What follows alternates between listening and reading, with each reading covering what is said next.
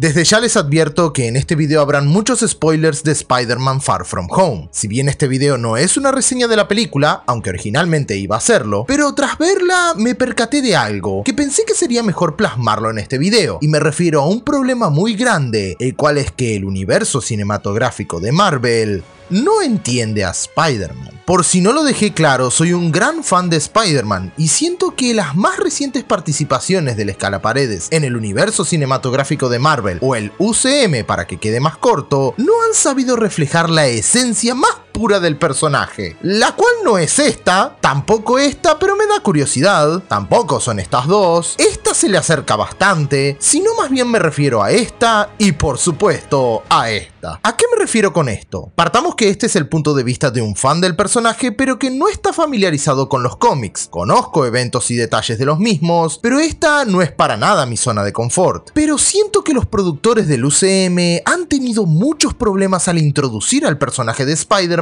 e integrarlo a un mundo ya establecido. Primero que nada, obviando lo ya existente, Spider-Man cuenta con largometrajes muy decentes de parte de Sony, y si bien no son obras maestras, debo admitir que me gustan, aunque la mayoría de estas hoy en día casi no las puedo ni ver. Aún así siento que no llegaban a ser Spider-Man en un 100%, es decir, la trilogía de Tobey Maguire contaba con buenas encarnaciones de personajes entrañables, pero que a mi parecer los usaban de mala manera. Peter Parker era lo peor de las películas y se aseguraban de darte mucho de él con escenas que daban pena ajena de verse. Sin mencionar que en aquel entonces estaba de moda el matar a todos los villanos en cada una de las películas, haciendo casi imposible el planteo de no sé, unos 6 siniestros, uno de los team-ups más usados en Spider-Man. Las películas de Andrew Garfield, si bien están bien y su Peter Parker es un poco más ameno en mi opinión, pecaba mucho de intentar ser edgy mostrando el sufrimiento y haciendo a Peter un miserable que no puede ser feliz jamás. Y Tom Holland, hasta ahora lo que más noto es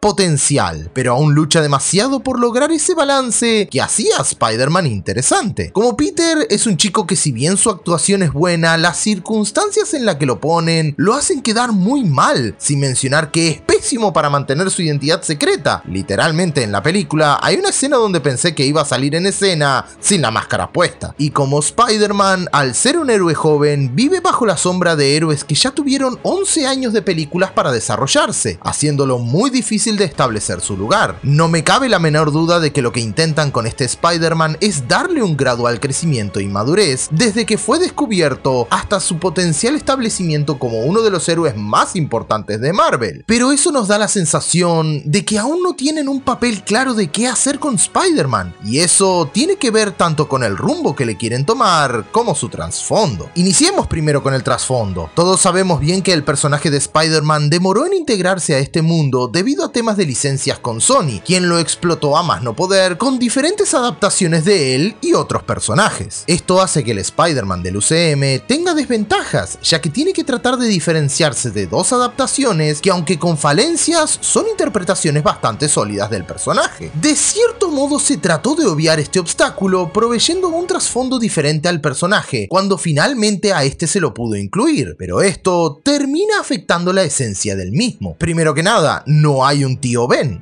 Esto fue una ventaja al inicio, pero que les terminó jugando en contra después. Es decir, ventaja porque no fue necesario tener que mostrarnos al tío Ben morir por tercera vez, pero le jugó en contra porque después no está esa sensación de responsabilidad del personaje, la cual es la que le daba fuerza y lo encarrilaba siempre que estuviese a punto de perder el rumbo, elemento que las series siempre supieron retratar. Aquí se intentó convertir a Tony Stark en una suerte de tío Ben y, seamos sinceros, no es lo mismo. El tío Ben era una figura paterna que le dejó enseñanzas a Peter y marcó en él el peso de sus acciones y las consecuencias de actuar o no actuar cuando se puede y se debe. Ya saben, un gran poder conlleva una gran responsabilidad. En cambio aquí la muerte de Tony Stark solo significó que Spider-Man deba rellenar los zapatos de un personaje que fue el pilar central del UCM y no es lo mismo. No es lo mismo un sentido de responsabilidad nacido de tus propios valores a una responsabilidad impuesta por la muerte de alguien importante que debe ser sustituido. Esta base provoca que el personaje aún necesite crecer.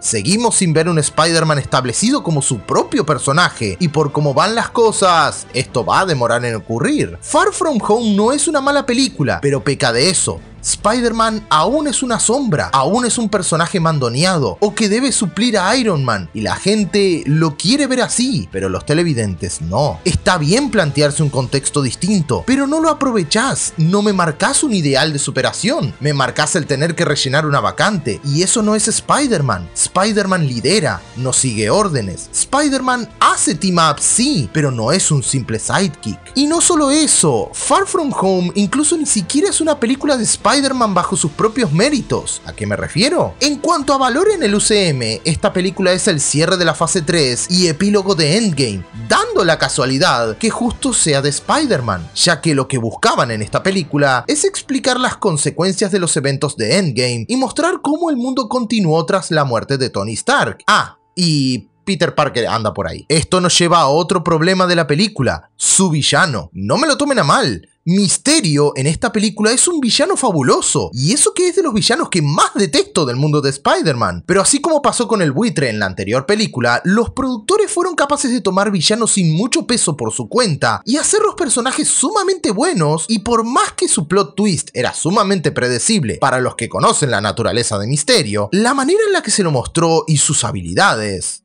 fue más que genial. Pero esto nos trae otro problema. Nuevamente, al igual que con el buitre, se trata de un villano nacido como consecuencia de los actos de Tony Stark. Y esto es algo que venimos viendo en reiteradas películas, sean o no de Iron Man, dejando en evidencia que el UCM depende demasiado de este personaje y que no se pueden desprender de él. A esta altura solo falta que Venom sea un experimento de armadura fallida de Tony Stark usando nanotecnología. ¡Ay no! No, por favor, no tomen en cuenta lo que dije. Y esto a su vez nos arrastra a otro problema. Cambiaron demasiado los personajes. No solo los villanos, sino también Peter y su entorno. Son proyecciones muy diferentes de los personajes base. Y esto no quiere decir que sea malo o que no les permita plantear contextos interesantes. Es más, la escena final de Flash me dio curiosidad, pero todos sus personajes, así como también los villanos, tienen un trasfondo y un contexto muy sólidos, planteados por años de interpretaciones diferentes, y esta película no les hace ningún tributo. Y esto juega mucho en contra ya que futuras interpretaciones optarán por basarse más en este estilo de personajes en lugar del material original. Y es una lástima, ya que los personajes del mundo de Spider-Man tienen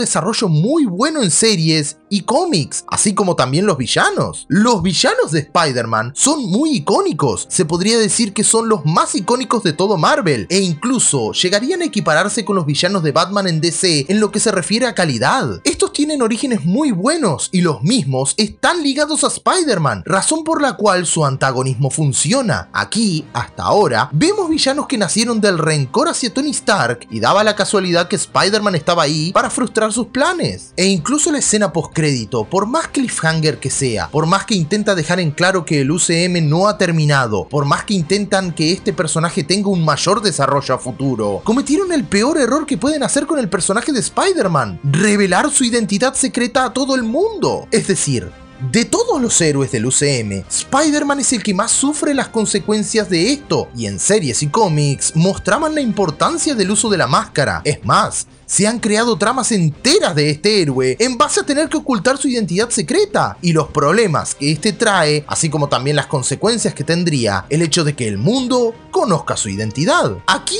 se cagaron en todo eso. La escena final, por más enganche que trate de hacer para nuevas películas, me terminó matando la experiencia y la esencia de Spider-Man en todo sentido. Sus personajes, su motivación, su esencia, todo es distinto en el UCM y me duele mucho, ya que yo era de esas personas que estaba deseando ver a Spider-Man interactuando con los héroes del UCM y me hypeé más que nunca cuando finalmente lo revelaron en Civil War. Ahora, no me tomen a mal, la película no es mala, el personaje no es malo, pero no es el Spider-Man clásico, es una interpretación del mismo para que este se adapte a un universo ya establecido y es una lástima, ya que aquí no sé qué tanto influye la licencia o la libertad creativa, pero siento que el UCM se habría visto muy beneficiado con un Spider-Man más fiel a sus encarnaciones originales. Esto es todo. Si bien los cómics no son mi campo, el hecho de que pasen estas cosas con mi héroe favorito de Marvel me terminan doliendo. Y sé que no debo ser el único. Sígueme en mis redes sociales.